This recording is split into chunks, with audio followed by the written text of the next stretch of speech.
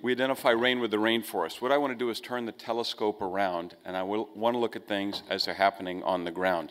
I want to talk about climate change in terms of climate justice, because hear me well. The message I'm here to deliver today is that the people who are least responsible for climate change are the people who are suffering the most in terms of climate change. And I want to focus on the indigenous peoples of Amazonia with whom I've been working for much of the past 25 years.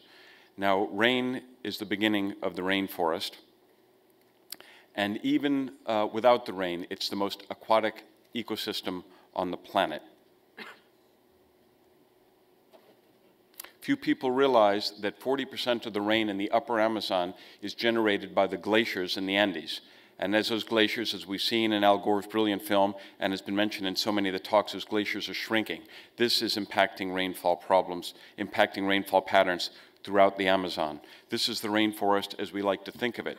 However, scenes like this, as we all well know, are rapidly changing to scenes like this. The incredible rates of population growth, the incredibly poor amount of planning, corporate greed, uh, stupidity, short-sightedness is destroying the greatest expression of life on Earth. And just to put it in concrete terms, according to recent NASA studies, referring back to the minister's speech before this panel, Colombia used to be number two in the world in terms of freshwater reserves, and due to deforestation and the ecocide you heard referred to early, it's now dropped to uh, number 24, from 2 to 24.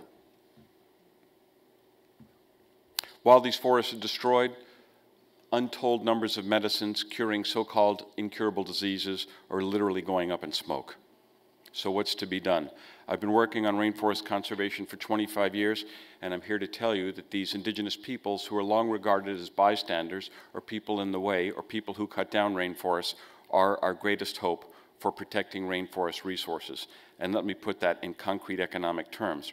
Remember that the number one protein source in Latin America, or number one or number two, is fish. So these people are dependent on these forests, these people are dependent on these rivers, these people are dependent on the rains, not only for fresh water, not only for food, but for transport and for too many other things to list in a short presentation such as this.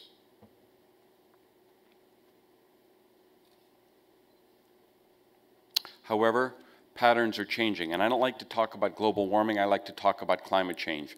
Because in the Northeast Amazon, as you see here, two years ago, they had the most catastrophic rains on record. This is my office in the Northeast Amazon. This is an indigenous village of Maroons in Suriname in northeastern South America. This is what happened when the floods receded. These people are paying a much greater price in terms of climate change than we are at this point in time. But the current predicts the future. This is the great trio shaman Amasina, with whom I had the honor of working for 25 years. The rains pick up, the leafcutter ants are driven to the high ground. The high ground is where the Indians plant their crop, and what do you have? Famine. Because the ants destroy the crops that feed the Indians, who are the best caretakers of Mother Nature. So, why indigenous peoples? It may seem counterintuitive to focus on indigenous peoples to protect the rainforests that remain, but look at this. 25% of the Amazon is indigenous lands.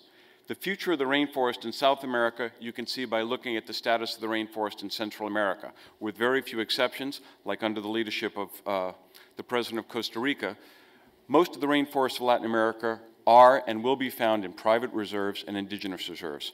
5% of the Amazon is in national parks. They're typically very poorly protected. 25% is in the hands of the Indians. So let me give you a concrete example.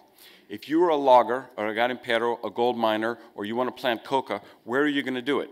In the Tumucumaque National Park in northeastern Brazil, which has three park arts which live 100 miles from the park, or in the Tumucumaque Indigenous Reserve, which is full of 4,000 pissed off Indians with poison tipped arrows.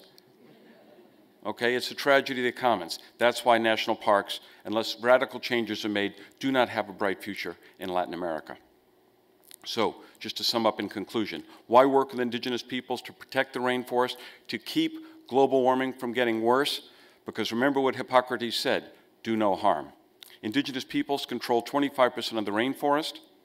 They protect the vital headwaters. They have the most extensive ecological knowledge, and it's the most effective way of protecting standing forest.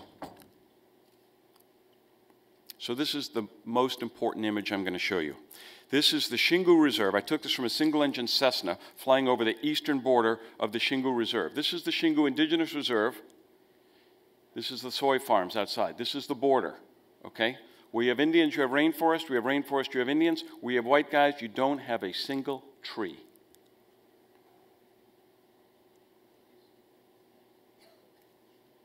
So, I told you we talk about climate change instead of global warming. The Northeast Amazon had the heaviest rains in recorded history two years ago, and Southwestern Amazon had the driest epoch ever recorded.